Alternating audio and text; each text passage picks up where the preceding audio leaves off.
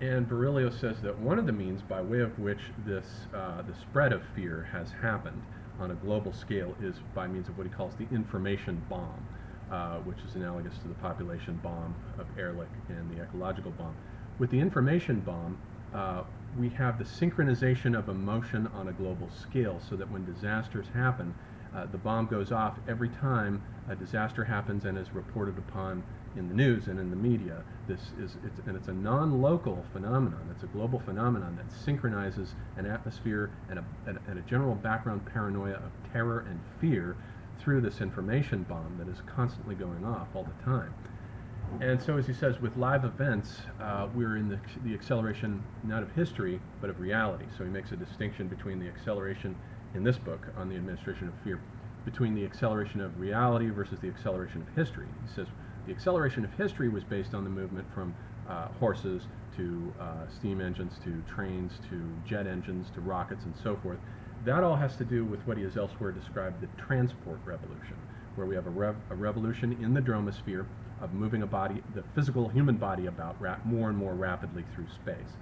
And then beside that, in the 19th century, we also had the communications revolution, and the communications revolution occurred simultaneously with the advent of the telegraph and the telephone and the wireless, and then eventually the radio and television, and now the internet. So we've had a gradual speed up there as well.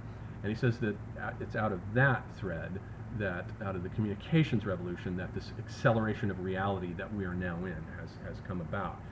And it has come about with such speed that we cannot keep up with it and we cannot come up with a political economy of speed that can match it and regulate it. And he says that one of the things as a result uh, that happened was precisely the 2008 global financial crisis came out of this. It, it, was rooted in the 80s shift uh, in uh, the shifting of uh, finance and the stock exchange and the stock exchange into global real time. It's synchronization, and that the first crash happened in 1987 as an initial adjustment of the system, and that so now with uh, 2008, one of the things that brought it about was precisely uh, this flash trading, in which insider trading can happen very fast, and the same types of uh, the flash trading that happens very rapidly was used on the same computers that the defense industry uses. And he says that this came about, and, and it's it, it happened so fast, and it's part of the shift into the absolute light speed rapidity of the economy now that we can't even keep up with it, and it's impossible ever to, to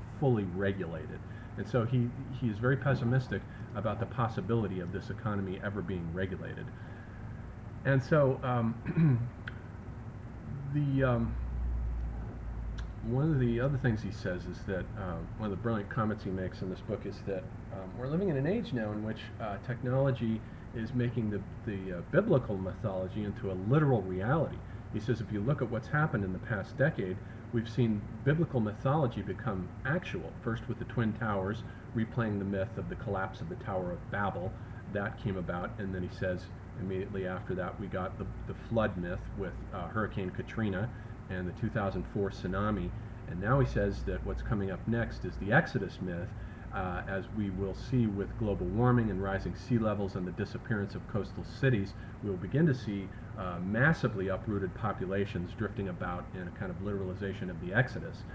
Um, and so one of the things he sees is he, he says that um, we've had this kind of threefold aspect of history where uh, originally uh, Exodus took place with this movement from a point in space to a promised land. You moved in a linear line from a specific point in place linearly to a promised land. And then eventually we moved into this phase with the rise of cities of sedentarization. And, but now this sedentariness has now given way to a kind of what he calls a closed circuit exodus.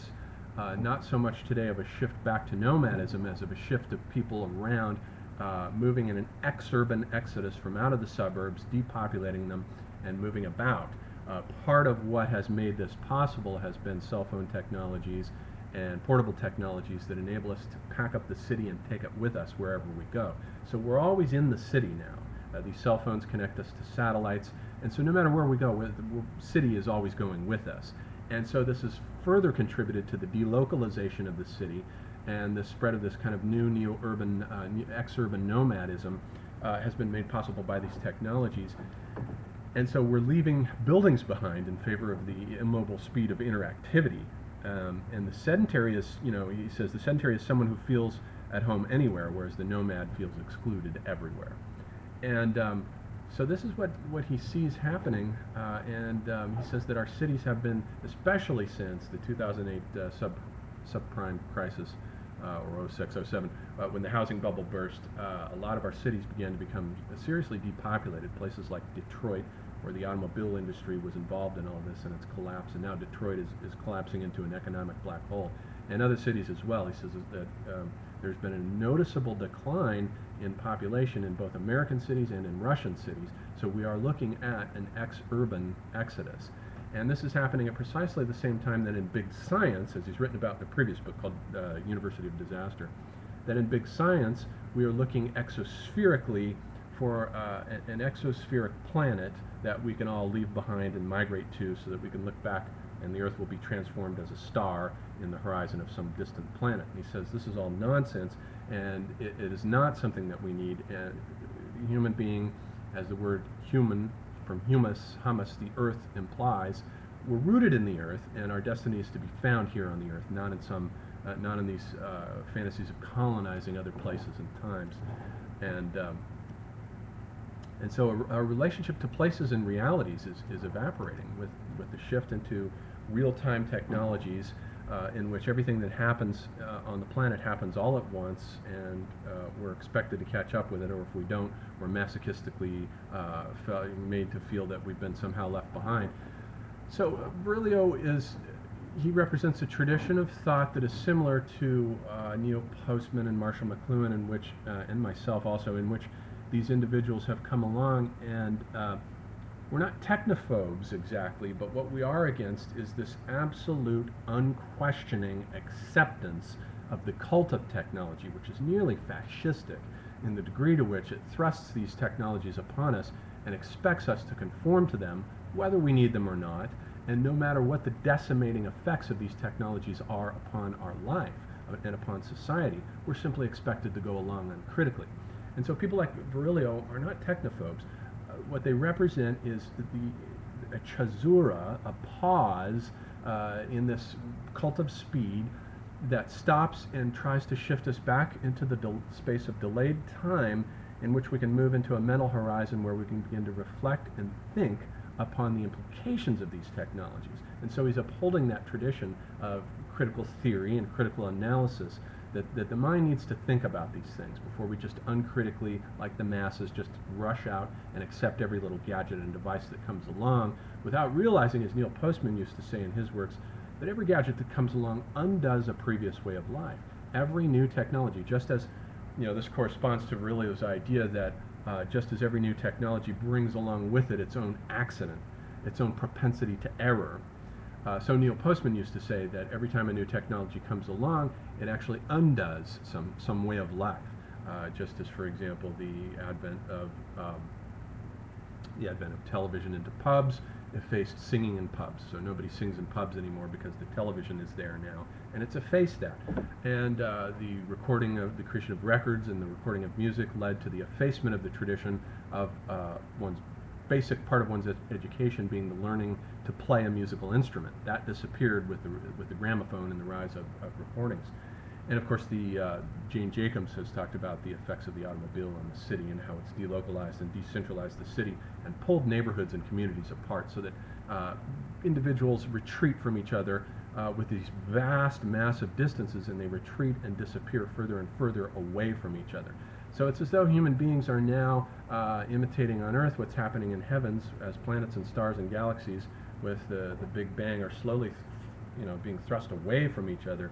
So too technology on Earth is replaying this drama in which we as individuals are all drifting further and further away from each other. And we come up with technologies like this, like uh, Facebook and YouTube as desperate, in my opinion, technologies of replacement, prostheses for these previous social modes, which were once based on proximity and nearness to one another. And now, in order for us to connect at all, we have to have these electronic prostheses as substitutes for what used to be normal human uh, activity. And so, one of the things, you know, um, Virilio has inspired me. I've, re uh, I've written a, uh, manuscript uh, that will be my next book on uh, the globalization of disaster, largely as a result of my encounter with Virilio.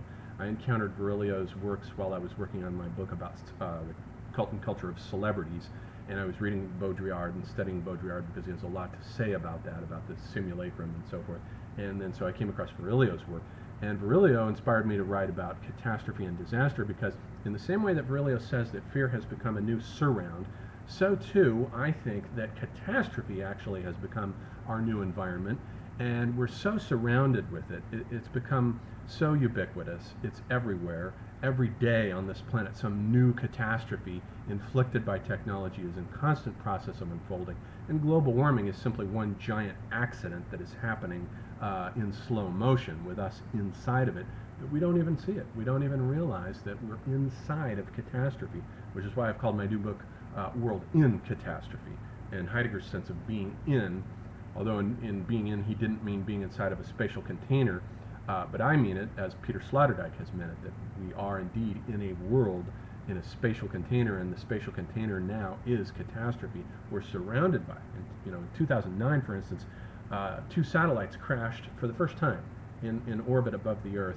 One, they were both going in, in opposite directions, and they crashed in orbit, obliterated each other. Nobody heard about this. You never hear any talk about it. Uh, but now we're surrounded with the debris of this satellite uh, collision that took place, and, and, it surrounds us now. We're living inside of a series of global accidents that has become our new surround.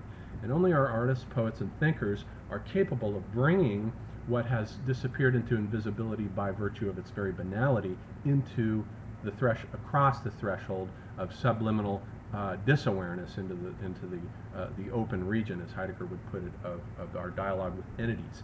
Poets and artists do that, and um, I'm trying to do that as well. And so that should give you a basic introduction to some of the basic ideas of uh, Virilio with the, his dromology and aesthetics of disappearance and his information bomb and his accidentology. He is currently uh, working to create the world's first museum of the accident in uh, Europe, in Paris, I believe. And he's currently in his old age, and he still gives seminars, as I understand it, at the European Graduate uh, School. And uh, so I highly recommend this book that will be out in a couple months, The Administration of Fear. It's only 100 pages, it's very short, and it provides you with a very good and concise synopsis of the main ideas of, of.